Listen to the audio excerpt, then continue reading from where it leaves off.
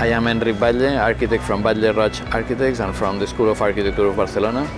And I work especially in, in relation with cities and projects of landscape architecture. I think that it's possible to work with the idea that green is one of the main things of our cities. But also it's possible to put in relation with all the other things, the other infrastructures and with all, all the other needs of our cities.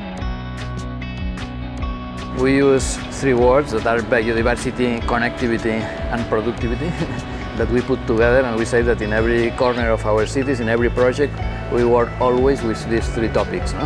And also that all the spaces, all the projects can produce different things. Energy, food, uh, clean air.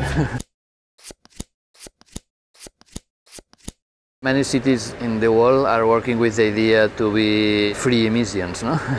that this is a new paradigm. When you want to translate this concept no? to the city, you need to do actions, no? to take out the cars, to change the mobility, to clean the water. In this moment, I think that there are big discussions in all the, the things that the city do, no? because if it's necessary to change all the things.